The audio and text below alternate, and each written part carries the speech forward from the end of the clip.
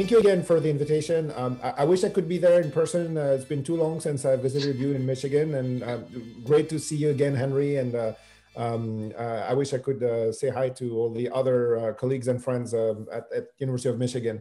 Um, so I'm really honored to be um, discussing today the mixed autonomy traffic work we're doing, and specifically the Lagrangian or mobile control at different scales. Um, and I'll try to um, find some commonalities with all the great work you're doing at uh, Michigan as well as MCity.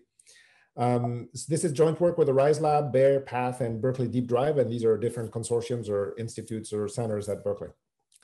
So um, I usually like to start these types of uh, talks with uh, um, work that uh, Wadud, MacKenzie, and Leiby published uh, several years ago.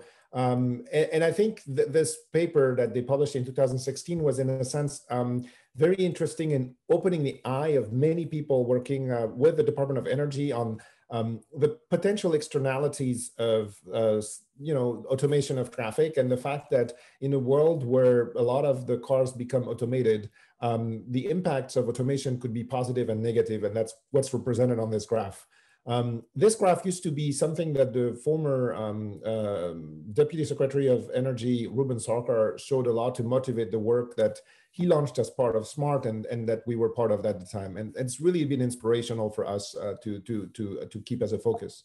So of course, in the domain of um, transportation modeling, um, as most of you know, there is a lot of different scales at which you can model the system and they're appropriate for different uses. So things like agent-based model can operate at very large scales. Um, things like macro simulations are also helpful at the scales of a city. Um, and when we started this work, and I would say uh, up to now, micro simulations um, were things that when I started my career as a student, you could use for maybe a few intersections. I think nowadays you could use it for corridors and beyond. And it could be that in a decade or so, you could use it for a full city, which is really promising and a motivation for the talk today. And of course, then you can go even deeper into the modeling of below the hood. And that's not too much the, the, the, the goal today. So that gives you a sense of kind of the frame at which uh, we what we look at, and we mostly operate on that level. If you can see my mouse moving on like a second to top level.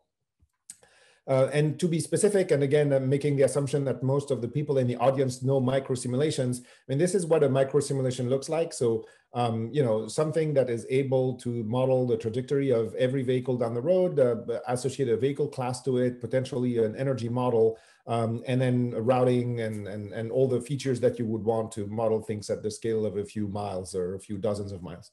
Um, there are three main leading um, products. There's more, but the, the ones we've been considering for this work.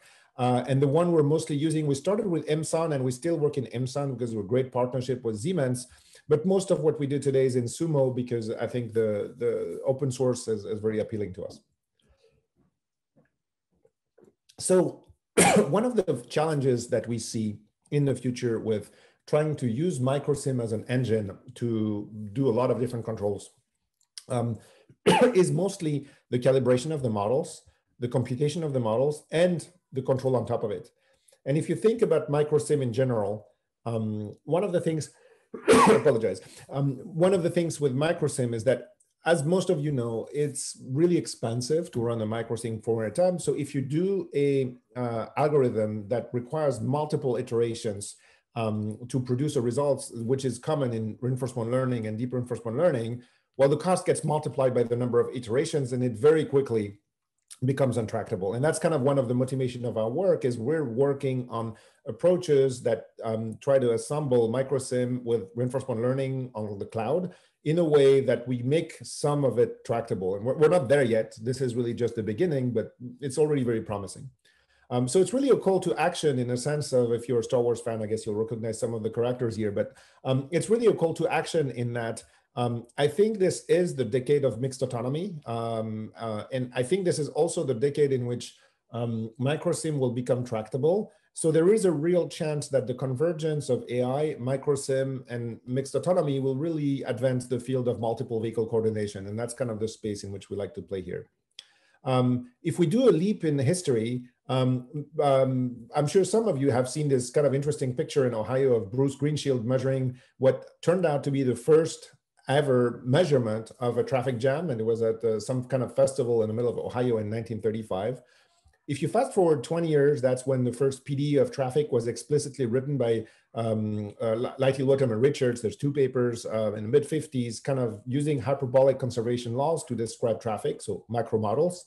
And then if you forward another almost a half century, um, Fukuyama uh, did that experiment um, in uh, Japan in which he asked uh, drivers to drive in a circle and essentially maintain distances. And this video became really famous because this was also one of the first recorded um, in spectacular instantiations of string instability or stop and go or phantom jams. There's lots of different ways to characterize what's happening here. Essentially, humans not able to maintain distances and leading to terrible traffic instabilities. Now, uh, over 10 years after that, um, one of our former students, Dan Work, with Benedetto Piccoli, uh, Benny Seibold, and John Sprinkle, reproduced that same experiment, but inserted a self-driving vehicle in that loop, which you see here with the arrow in black, except now it's just driven by a human, so you see these instabilities. And then when it turned out, it just did it now, the autopilot, so the automation manages to smooth the flow, and you see the oscillations immediately uh, damped out. You can see it both in the movie, in the numbers, and in the red curve, which I'm hovering over here. Um, and it's quite spectacular because essentially one out of 22 vehicles is enough to smooth the flow. And if you read the energy consumptions from the OBD port, uh, you get 42% reduction in energy, uh, which is phenomenal. Um, so you can see a lot of um, a lot of um, um, progress made in almost a century between the first measurement of traffic jams and this uh, ability to control traffic. Now, one thing I'm going to show you now is the same thing in simulation that was done one year later. And this one was done by Cathy Wu, who is a, now a professor at MIT. She's an alum at Berkeley. And what she did is she managed to essentially um, uh, reproduce the same thing in simulation in Sumo, but this time the red car is automated. The blue car is the only thing the red car can see. And when the red car crosses that line that you see here, it will turn on the autopilot. And it just did. And as you can see, that now reproduced the same thing you just saw in the movie. And so if you're listening carefully now, you're probably wondering, why am I showing you a simulation in, that was achieved in 2018 when an experiment was achieved in 2017? It seems uh, walking backwards. There's a good reason for it. Um, and the reason is um, that if you think about what was done in 2017, it was mostly done by derivation of an explicit controller, the follower stopper, that relied on a lot of different articles that are model based. Um, in fact, we counted the number of articles written between the first 1935 Bruce Greenshield publication and 2008, and there's about 10,000 articles or more published on traffic modeling. And then once people started to really focus on string stability, there's probably at least 1,000 articles on string stability and related problems and stabilization. Um, and that essentially whole led to this experiment, which was spectacular. And the point that I'm making with that simulation that happened one year later is that that simulation and that stabilization did not require a model. And that's kind of it's kind of a pivot, I guess, in approach because the way Cathy did that is essentially by training an RL policy on the outcome of a micro simulation but the policy does not have a model of its own car, nor of the other cars. It just has access to a reward provided by the software. So you can view this as model-free deep RL. And that's pivotal because the performance is the same. So you could you could kind of look at this and say, wow, there's like 80 years of people looking at models, models, models, and I'm one of them. I, I published myself a lot of models. And then suddenly you can kind of redo the same uh, with no models. And so that was the start of us scratching our heads and figure out, well, could we leverage that to do other things that maybe could not do with model, or could we also just use models as a starter point for doing this? And this is kind of the rest of the talk today. So in most of the next slides you'll see in the next coming minutes, um, what you will see is usually a bunch of simulations uh, that show results. And the color coding of these is that every car in red is a CAV, level two to level five, depending on the, the scenario. Every blue car is a car that can be sensed by the CAV. So usually the car in front, the car behind. Um, some case they'll all be blue. That means, okay, there's V2V everywhere. And a white car is a car that is just in the system, produces stuff, but nobody can sense it. It's just someone driving there. So the first thing we try to do is see, could we replicate what uh, was done in a single ring with two rings? Um, and the funny part is that what the car does in that circumstance is essentially, I don't know if you can see it over Zoom, but it's just switching lanes back and forth and back and forth and back and forth, essentially preventing the cars behind from passing it and thereby stabilizing two rings. The cool part is that if you've ever worked on lane switch or lane change, you know it's really tough because there's a Boolean variable associated with uh, changing lanes. Usually it leads to NP hard problem. So it's very hard to do optimal control like this. Here, the algorithm just figured it out and you could argue, well, that's not so impressive because you know even uh, police academy uh, officers learn to do that. So the way I look at this is it's kind of an emergent behavior that the algorithm was able to pick. Um, and you know when we saw that, it was really encouraging because we thought we could do a lot more with that work. Uh, so we also looked at intersections, and here's an interesting intersection case. So if no car is automated, um, what happens is essentially the politeness problem. Everybody stops at the stop sign and let everybody else go one at a time. And that's probably the most inefficient way of um, handling an intersection. If you train the algorithm um, with the same paradigm I've shown before, um, that's what it does.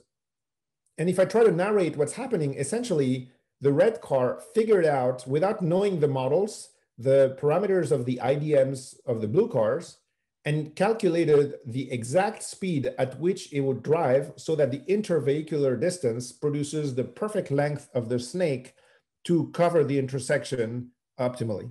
Now, of course, I'm just narrating that to you, but it's something that you can see happened in the learning. And that's quite phenomenal because maybe a human could do that. But the point is, it doesn't need a model to figure this out. It just needs access to the simulation. And you could argue well, it either rediscovered the IDM model or it rediscovered platooning in eight figures. There's lots of different ways to interpret that. But bottom line is it did something very sensible that a human would probably do, um, except it did not need a model of all the IDMs to do that. If I look at this scenario here now, um, you know, and I'm trying to maximize the efficiency of this intersection here, um, it's not very clear what I should do here because there's two queues discharging with different length. Um, and so if I launch the exact same algorithm on that scenario, uh, what you will see it's doing is it's essentially stopping um, somewhat at frequencies that cannot really be explained, or at least I cannot explain, and at some point discharging cars um, at a frequency that it determines. So this is interesting because now it's the same algorithm, but it does something that I cannot even really, in good faith, uh, reverse engineer and explain. So it's figured out something I can't even fully comprehend. Um, and um, you can go on and on. So another thing you can do with this is um, you could do transfer learning where you learn something on the ring and then you apply it to a scenario it's never seen before, such as a merge and intersection. So um, I'm gonna skip this for now. The scenario is you have this merge and the merge essentially induces backward propagating shock waves, which you see now starting to form. I'm going to inject another car. And here we go. The wave gets a bit bigger, another car. And now the wave gets even bigger and maybe a last car. And now the wave is really propagating backwards. Okay, so this is how you can generate shock waves on these uh, little systems. Now, what happens if you add mixed autonomy? Um, you'll see once in a while there's a red car. The only thing it can sense is the blue cars. I keep injecting the cars in this kind of on-ramp. Uh, so right now there's not much uh, traffic waves. Now you can see the waves are forming. I'm going to inject more. Now it's really clogged. Look at this car. It's just stopped right there. And then it starts again. So now it essentially has learned to be a traffic light. Like you have taught a self-driving vehicles to become a traffic light because it figures out that if it slows down like it's just doing again, see that right there? It's essentially maximizing the throughput downstream because it anticipates that it if it was going to go faster, it would essentially catch up too soon. So you look at the time space diagram, uh, the left time space diagram here shows the trajectories. You can see these back propagating waves, okay? Um, and then you can see every time you inject a car, like here, here, if you see my mouse moving, um, essentially that's how the wave is generated. So I inject a new car, boom, wave. I inject a new car, boom, wave. Now, what it learned to do on the ring, it applies here. It figures out, oh, there is a new car injected and there's this wave propagating. I'm going to slow down and catch up right around the time I catch that merge point. Um, so again, an, a form of emergent behavior I can explain, but it's really nice because it actually learned to do that in the ring and figured out it should apply that to the merge. Um, so this was one of the first instantiation of, of the work that two of my PhD students did, uh, Abhi, um, and Eugene Vinitsky. Um, and essentially, they started to do penetration studies of, you know, the question is, um, how many cars would you need to smooth traffic uh, and how much energy savings would you produce with that percentage of cars? So these were the first penetration studies we run. Obviously, very idealized case, um, um, simple merge scenarios, but it was very interesting and um, it did catch some attention initially. It was even picked up by, by Science magazine. Um, uh, so we are pretty excited at the time. Now, what we're doing today is we are trying to see if the same things I just described here could be applied to stop and go waves. Um, so stop and go waves known as jamitons, uh, phantom jams, etc., um, are essentially waves that happen like you see here for no good reason. It's just this same human inability to self-regulate that leads to these instabilities. So technically the demand is not high enough to fully clog the freeway, yet it reaches past jam density uh, in geospatially varying locations that depend on the instability. So the idea is, could you use that to smooth these waves? Uh, so when we do that, um, now we look at real scenarios. And so typically um, the models that we use for this are uh, micro simulations um, that are generated by the Connected Corridors teams in, in, in, California. So these are working for District 7. So these are fairly, you know, sophisticated uh, micro simulation uh, runs um, that also includes arterials. We mostly apply it for the freeways um, that we used for the training of our model. So the same thing that I just showed you in Sumo, that's this one is in uh, Aimsun, but we're going to use now to train our model uh, in uh, in um, in uh, uh, in software. More specifically, um, what you see here is essentially the the waves. So I'm going to just pause and explain. This is a zoom of the previous. This one is on Sumo. The traffic goes um, eastbound um, initially, it has white cars, so just like uh, IDMs. Um, it has a few red cars, but they're not on. They just behave like humans. And uh, initially, you're going to see these waves happening in that uh, in that calibrated model.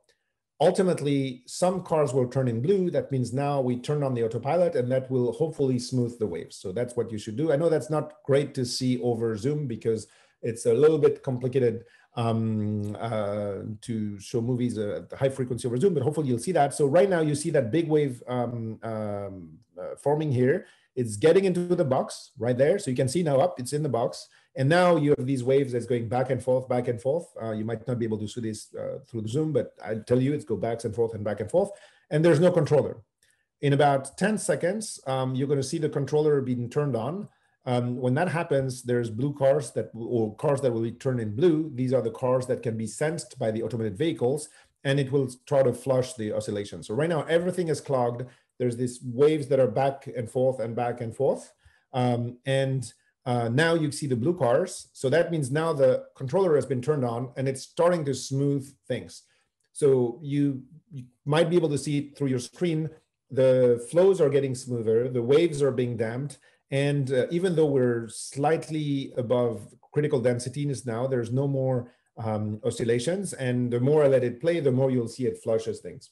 And that's the aspiration we have here with these, uh, with, with these uh, algorithms. So essentially, we're trying to smooth things. Um, we're not looking at improving travel time, and we're not looking at changing VMT either. The idea is you work with fixed VMT, nearly fixed travel time, but you smooth traffic, so you prevent the stop and go while maintaining the throughput. Uh, that's kind of the um, illustration of what I just showed you. So essentially, without the control policies, you have, so this is a four lane freeways, you have all the um, uh, shock waves that happened. Uh, with the real, uh, the RL control policy, I mean, you still have congestion because that's not going to change, but you you notice that this is more on the yellow side, and there's no stripes of red, which means essentially you've managed to smooth the um, the waves. Um, and so the question is, when you do that, how do you do that? And you have to be careful because um, uh, so the idea is you would like to reward uh, the energy consumed and say, well, the more energy you save, um, well, the better you do. But there's a very trivial solution, which is okay, stop all the vehicles, and then you get a zero energy, and that's optimal, and that's true. But of course, that's not what you want to do. So when you start to shape a reward for an RL algorithm, there's a lot of work to be done in understanding how you're also going to integrate the constraints. Like for example, um, how do you maintain the constant throughput, or how do you um, make sure the vehicles don't stop? Um, and so in order to make these algorithms work, in fact, there's a lot of kind of experimental algorithmic design that is needed. There's not much theory, but it's just more how do you devise a reward function that will not produce some kind of stupid behavior where to achieve optimality, you stop all the vehicles. Um, things we're looking at now is could we apply this to bridges and merges? So this was an old run that we've now improved with Baybridge where um, you can try to prevent the clogging of a downstream bottleneck uh, by essentially preventively holding vehicles. And there's a lot of questions on, you know, do you do this centralized, decentralized? Um, do you have access to all the information, partially information? And we're just writing a paper on this. We'll, we'll publish it in the next couple of weeks, and um, uh, it will have all of the results that that that show the performance of the algorithms in the different circumstances and, and, and with the different assumptions of architectures to sense and actuate. Um, obviously, we'd like one day for this to replace the bridge metering, uh, but yes, that's not happening tomorrow. Um, but that's kind of where it's heading. Is the idea is that you know a meter on a bridge like Bay Bridge um, is a single actuation point for um, up to 10,000 vehicle per hour, five lanes uh, included. Um, what if you could manage this in a lot more efficient manner if you had a distributed actuation? And okay, again, this is not happening tomorrow, but I, that is more aspirational. We also worked uh, with um, person you probably all know very well, um, uh, Andreas Malikopoulos at University of Delaware, former Michigan, um, uh, also very uh, active at MCity. Um, and there we tried to do transfer learning where I'm going to replay that movie so you can see it better. Um, so the idea is that you have this roundabout. It's at uh, Minicity uh, that they built uh, at uh, UW, at U University of Delaware. Um, and so there is cars coming in this way and that way, and you try to maximize the throughput of the roundabout. So the idea is you want to minimize the final exit time of the last vehicle. On the left is with no control policy. On the right is with control policy. The blue cars are the automated vehicles and the other cars are the humanly driven vehicles. And if you focus on the Hummer vehicle, this one on the left and this one on the right, it will be the last vehicle on the right. And notice the last exit time of that vehicle on the right movie happens way before on the left movie. Right now I can see the Hummer is almost exited. It's done but there's still other two cars on the other one. So this is typical ways of um, uses of this to uh, now try to improve other metrics. In the previous cases, I said we work with constant VMT or nearly constant travel time. Here's different. It's like minimizing the flush time.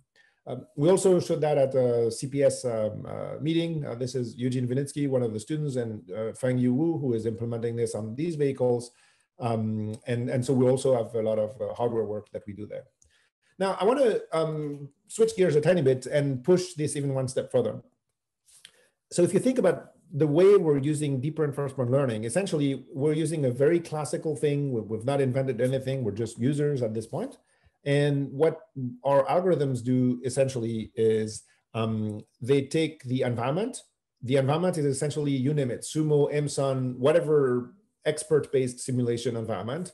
It spits a reward VMT, TTT, energy, you name it. And it spits a state. It tells us, oh, and by the way, this is the state of every vehicle where state means position, speed, history, and anything you want. Based on that, the RL algorithm computes the next best move um, to um, optimize the system. And that's the action space that spits back into the environment. And this is the way essentially all the algorithms I've shown before have worked from the very beginning, the, the, the, the one that Cathy Wu put back in the days, to smooth the ring to all the way to the bottleneck and the 210. Now, there's a fundamental assumption here, and the assumption is that you compute your optimal control or your action based on knowledge of the reward, RT, and the state. Now, I'm going to ask a provocative question. What if you did not have access to the state, but just a rendering of the state? So you cannot measure speed, acceleration, position, you just have a picture of it. So the idea is let's just assume that we're looking at this, we can see what's happening, but we cannot really measure it other than seeing pictures. So say you see the last five time steps of first a simulation.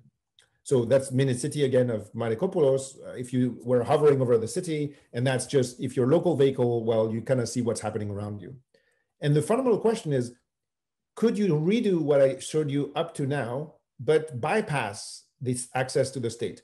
No more OBD access, no more um, V2X or V2I or V2 something to measure things, just cameras or rendering. Um, and the truth is you can do it by measuring, by somewhat changing the reward function. Um, and um, what uh, we demonstrated is that if you do that, you do not degrade the performance that much in some cases. So this is what would happen if you, on the left, measured things by just looking at rendering. So look, I see moving stuff. Um, so essentially I see pixels, but I, I can't measure speed or anything. It's just pixels. And based on pixels, I try to do better at that reward function. So we, we showed that that already worked with the ring and with the eight figure, and we have um, hope that it would work for other things as well. Um, so the beauty of that is that you can do this in a centralized fashion, like on the left, or in a decentralized fashion, like on the right. So centralized fashion would be to say, I'm going to train my deep reinforcement learning algorithms um, to just look at all the pixels of the entire mini city. And the decentralized fashion would be to say, well, I can only measure locally. So, okay, if what you see in every circle here is essentially um, what every vehicle is seeing around it. Um, and then maybe there is some information exchange, but bottom line is you can only see, see things locally. And we've also tried to do that, and it does provide some actually good results as well. So the reason why that's important is that if you think about the future of mixed autonomy, um, we already have good confidence that we can do it like on the left. Like you look at the fully centralized movie, like you see on the left, and um, it's already a good tool to do optimization. Then um, it's much more challenging to do in a decentralized fashion, like in the middle, but it can be done. And so, you know, where is that going in terms of technology? Well, this movie that I'm showing on the right, it's something that you know you can have on your car tomorrow by buying a dash cam and then just sending there's many companies that essentially provide you segmentation capabilities to measure things around you and then if you take of course you know high-end vehicles like the teslas or others you have like up to six cameras uh, uh, front facing back facing side facing so um, in the next 10 years every new vehicle that has some decent level of automation will have the capabilities to measure what i'm showing in the right movie which I look at as a set of pixels, period. So in a sense, you could say that what's in the middle movie is just a reduced version of what's in the right movie. And 10 years from now, every car will have it.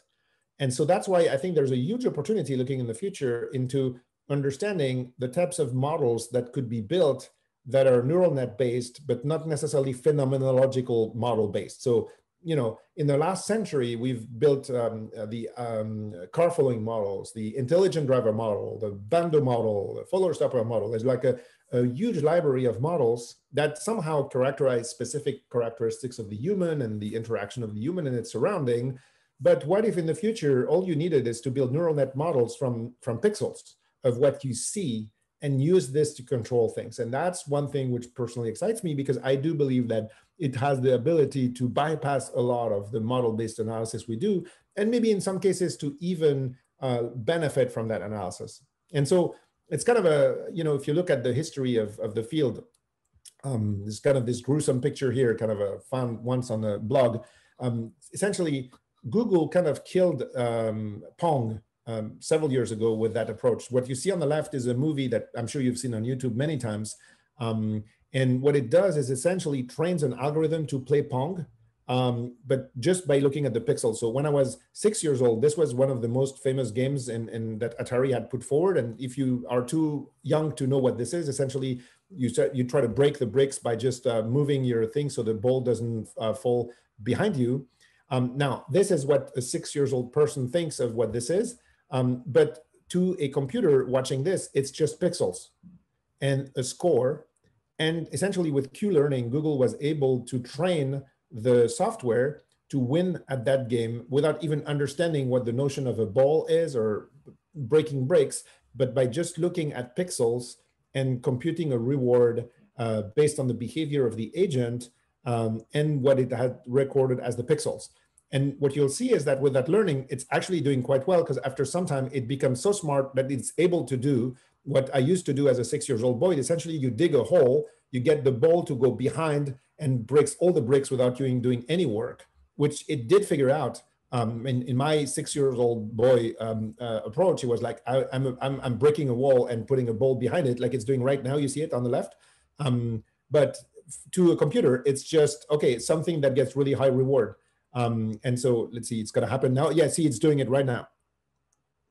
So um, so you, could argue that you know these simple things have been killed by pixel learning.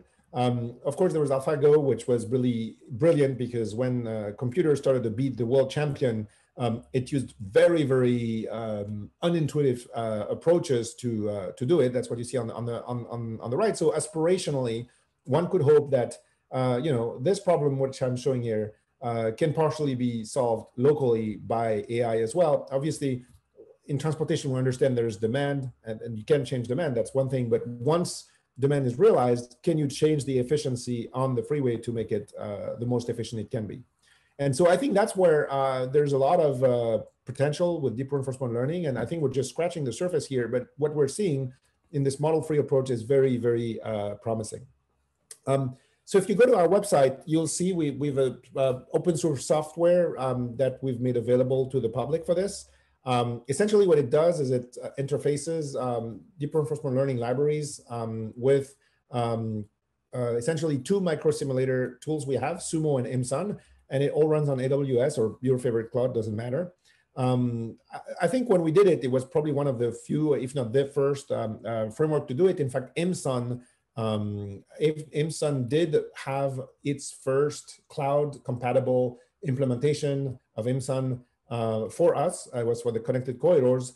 Uh, so at the time it was really new, and then Sumo obviously was a lot more um, amenable to to that because of the way it was built.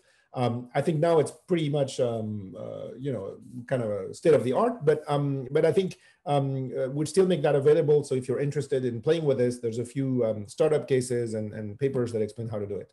Um, so you, you, if you're interested in using that software, you can do it. I mean, it's kind of Lego blocks. Bring in your uh, Sumo network, um, and then train it and then and then uh, build on it based on based on what you have. Um, one of the aspirations we had was to also create a dashboard. We turn it off now, but we're going to turn it off again, uh, turn it on again later. So for those of you who do robotics, you probably are familiar with MuJoCo, which is what you see on the left, on the right. So MuJoCo is this kind of um, uh, World Olympics, if you will, of robotics uh, for uh, any basic, uh, you know, system you can think of. So like a exoskeleton or spider or ant, or like there's a bunch of uh, benchmark problems. And essentially um, the beauty of it is that when you check in your algorithm, you can benchmark yourself against the rest of the community because these are become benchmarks. So the idea is we're going to do something similar with energy for traffic. Um, and that's something we initially published at CoRL. Um, what we're building now for the US Department of Energy is essentially a, a whole pipeline where uh, we have a leaderboard. It's not accessible to the public, but we hopefully will have it live in a few months. Um, so if you're interested, we're very happy to, to work with you. So the idea is, again, you have calibrated models of specific freeways and you can check in algorithms and compare them against each other. And so that's what that dashboard looks like if you um, look at it from the inside. Um, so on the, on the horizontal axis is the date. And then on the vertical axis is the score, and you can see algorithms improving over time. And every time you check in an algorithm, it will show you a bunch of things on how it's doing on that particular scenario. Uh, we also have done some workshops and, and uh, or once in a while doing tutorials. So if you're interested, we can uh, um, train you. Um, and also, I just want to showcase the team here. Uh, it's not just Berkeley. I mean, it's a, it's a fairly large team. There's about 50 people now. Um, so the headquarters are at Berkeley, but the test beds are in Vanderbilt. Um, so, um, uh, uh, and we work very closely with the Toyota, uh, GM, and Nissan now. So, um, and the Tennessee Department of Transportation. So it's it's a multi um, faceted team which includes anything from uh, AI to uh, essentially hardware development.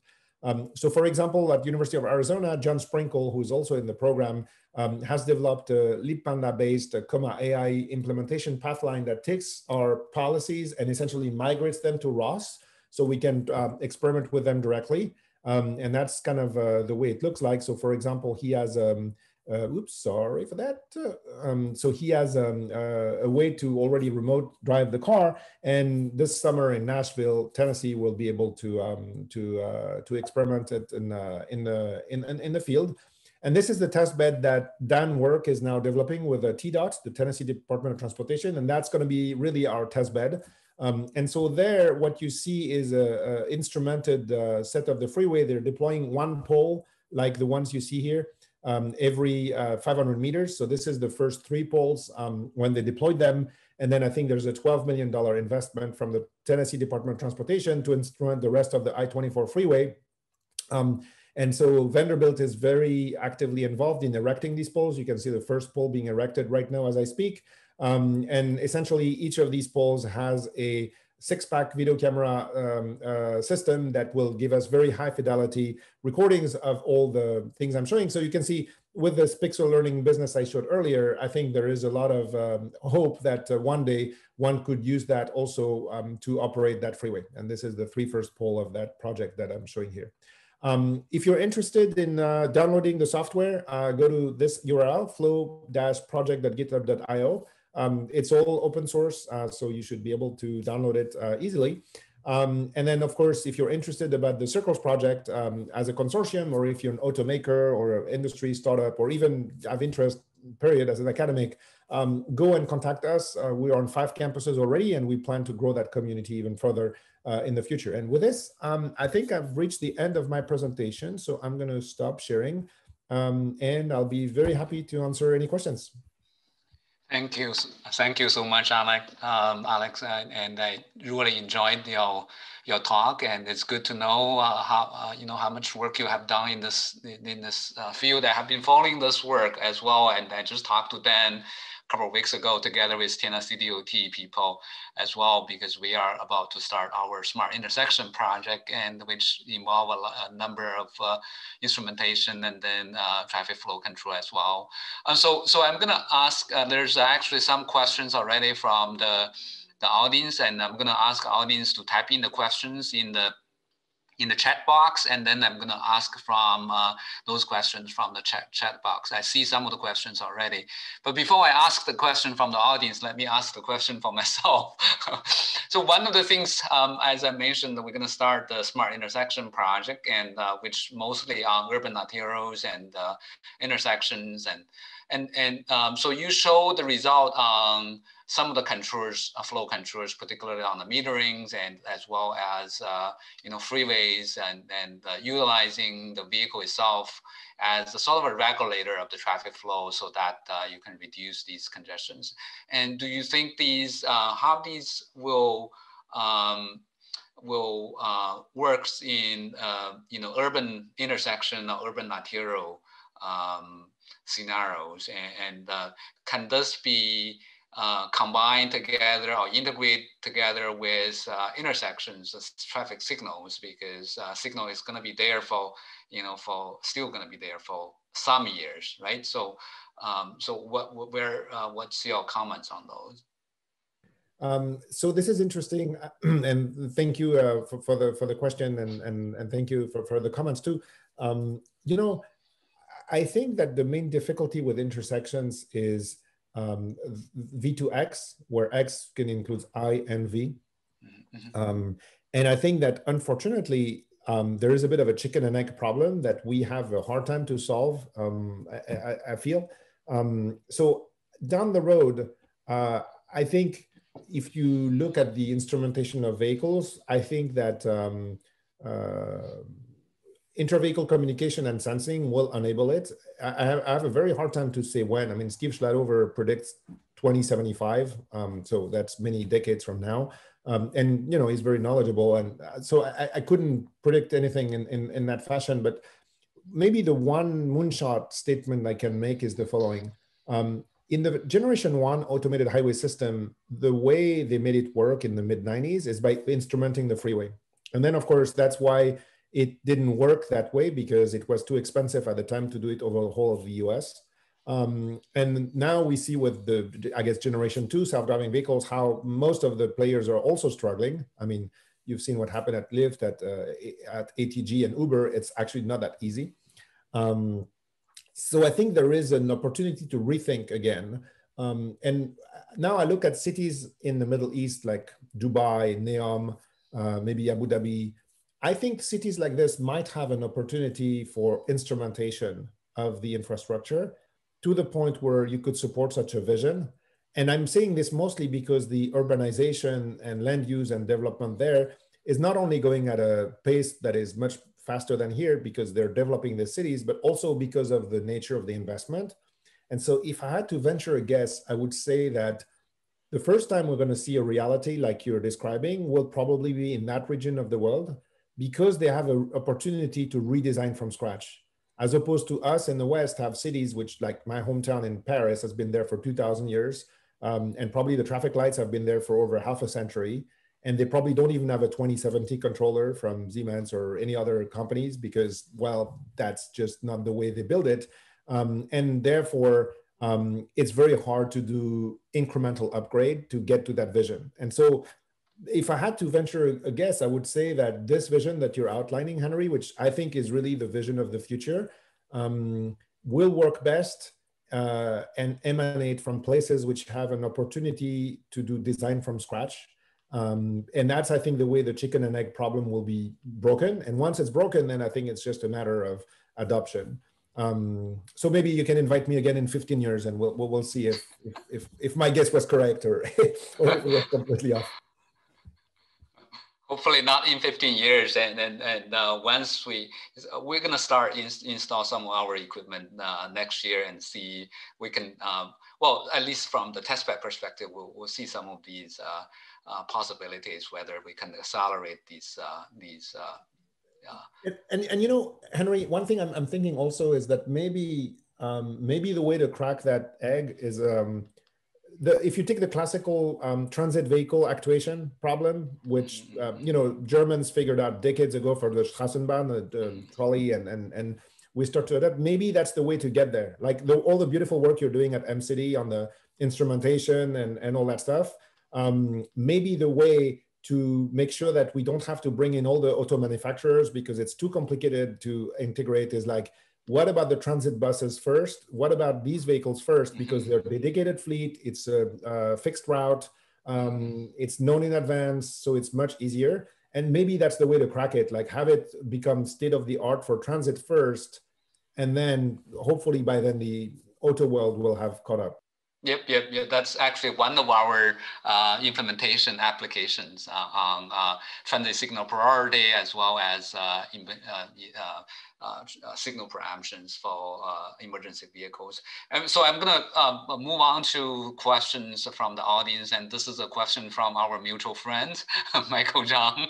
So he has two questions and I think these questions are interesting. And one of the questions he's asking that when you do the training, how the, you know, the underlying model really help you, um, you know, for the training. Um, um, um you know, uh, in your tri trial and error process. And, uh, and there's a recent trend on the physics informed, uh, you know, um, machine learning and how this will, uh, can this help you with your training? Yes, yes, yes. And, and I know I was a little bit provocative in the way I kind of uh, maybe discarded all the models a bit too fast. Um, so absolutely. I think that, um, uh, I mean, it's interesting, right? There's different ways you could train you could train a policy from scratch, um, assuming the policy is not even designed as a control as a um, car controller, um, which is one of the approaches we have chosen. The danger of that, of course, is that it might do really crazy things. I'll tell you one in a minute, um, because it's not meant as a controller. Another way to benefit from this whole legacy of, of, of, of thousands of papers, um, including our own, um, is to say, why don't we just train the functional class of controllers? So say we're going to have follower stopper uh, with maybe five design parameters, and we're going to train within that class, or even selecting amongst multiple classes, uh, IDMs and bandos and follower stoppers and mm-hmm. you name it. Um, and then it becomes physics inspired. And so actually we've done that too. One of my students, Aboudi Kreidieh, is using imitation learning to learn the follower stopper algorithm without making the assumption you know the parameters. So if you've looked into the work of uh, Dan Work and John Sprinkle, you'll notice a 2017 paper called follower stopper. Mm-hmm. In that paper, there is a desired speed target that is used by the algorithm to smooth the traffic.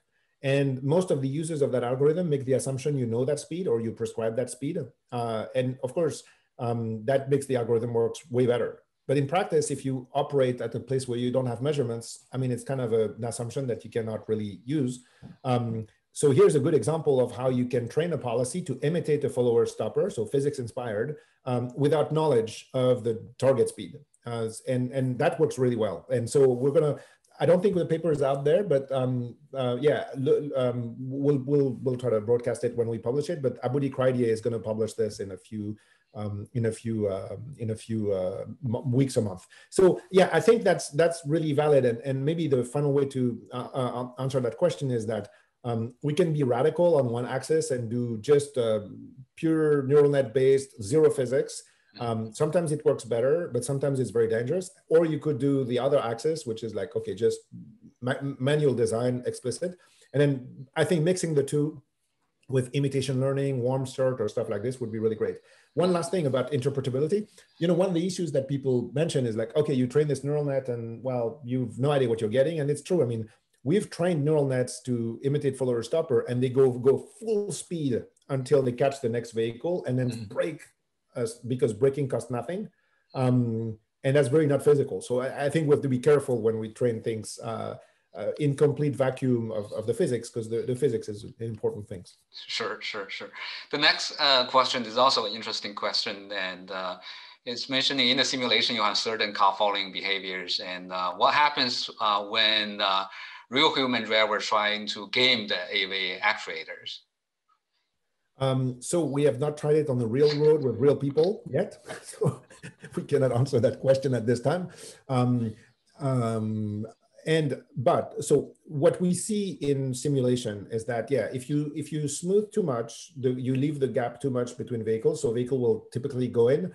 And that's easy to simulate in fact in sumo because there is a functionality in sumo where if there's more than x seconds gap uh, it will automatically merge in. In fact Karl Hedrick one of the legends of this world used to say one second, people won't merge. Two seconds, people who are aggressive will merge. Three seconds, people will merge. So that's kind of the rule of thumb of the old AHS system. Um, so yeah, that is a problem. And I think um, it's going to be interesting because imagine fast forward 10 or 15 years from now, when um, every vehicle on the road has a cruise control system that can enable that. I mean, Tesla can do it today, and there's a few other brands that already can do it by just a software push. So fast forward 10 or 15 years from now, when um, it has become a technological reality, um, if few vehicles participate at a given time, it's likely that people will game the system or there will be road rage because why is that person driving so slowly? But it's also likely that if the penetration rate is high enough, then it locks in the system and it's almost like shepherding it. Um, nevertheless, there is real questions about social acceptance. Uh, road rage is one problem. And I think that maybe the historical analogy is, you know, when they invented traffic lights um, 80 years ago, probably at some point, some person came out to an intersection with something that told them to stop when the intersections were empty. And well, nowadays it's become part of the social norms. There's a traffic light, it's red, you stop. So I think there will be a similar learning phase here. Um, essentially, human beings trying to, well, learning to live in mixed autonomy. That's a good point as well. There's a this is actually related. There's a related question um, um, uh, related uh, with the application. Um, so this is the question is this seems very intriguing in theory, but how can we uh, actually apply this to the real life, especially when you mentioned the CAV knows somehow uh, smooth traffic flow like the um, that, that, that, that, like the circular with, without actual V2X and V2A connections since uh, um, we are mostly talking about smoothing human, you know, tra vehicular traffic flow. Um, well, okay, so there's multiple layers in the question. Um, mm -hmm. I, I, the first layer is uh, if we want this to go to the field quickly, we cannot make the assumption that there is um, I to V that is rapid. The best you could do is maybe there is a um, maybe there's something that feeds information like Google Maps, so you have a vague idea of speeds at a very crappy level every 500 meters there's a different reading um, and i think that's the most you can assume if you want this to work at scale Um, because otherwise, that means you have to have special communication networks, or you have to really go high volume on um, the 5G network, or and that's just not realistic. So let's make that assumption. If you make the assumption, all you have is essentially crappy traffic information at bad granularity. The game is, can you train a policy that is fully decentralized and still improve things? In other words, something that only uses local measurements, mm-hmm. any historical data you want, because maybe there is historical data and still operates well. Um, I think there's still potential improvements that can be done there. We have some results that show that. But of course, it's as usual, right? It's, it's going to be way worse than if you have fully centralized and fully connected. So um, I still think that this is uh, something that is worth pursuing. Um, and the reason is, you know, go to the 280 freeway in California. The speed limit is 65, but people drive 75. Turn on your Tesla's autopilot and try to look at what the autopilot will pick up as a speed. I'm not going to give you the answer. Just try to do it. Um, and you can see that, in fact, that question is already being solved by some manufacturers because you have to. What if the social speed is actually higher than the speed limit? How will the cruise control or whatever autopilot you want to call it select its final speed? So, in a sense, that's the short term um, implementation of what I'm describing here. It's that choice has to be done anyway. Um, it's just today it's based on specific criteria, safety and on speed limits, legality, but in the future it could be done on other choices. And then maybe down the road, five years, 10 years down, when communications get um, uh, more uh, ubiquitous, then I think there's opportunities for different types of coordination that lead to increased efficiency. Excellent, excellent. Um, Alex, we have one minute left over, but I, I, saw an interesting question here, um, sort of uh, uh, asking you um, what is exactly is Liao Cho Professor of Engineering, what Liao Cho means. um, so there's two Berkeley alums, Liao and Cho, uh, who okay. once upon a time were very successful in the semiconductor uh, industry and very generously donated um, um, funds to establish this chair at Berkeley. And we're really grateful to their generosity. Um, I've met them on several occasions. Um, uh, they, they're very um, strong supporters of our campus, and uh, and uh, uh it's thank you for bringing this up. Uh, it's really um, an, an, honor for me to be um, the carrier of this chair. They, they're good people, good friends uh, good alums. And, and then I, I, can't resist now that you said this to say, go Bears.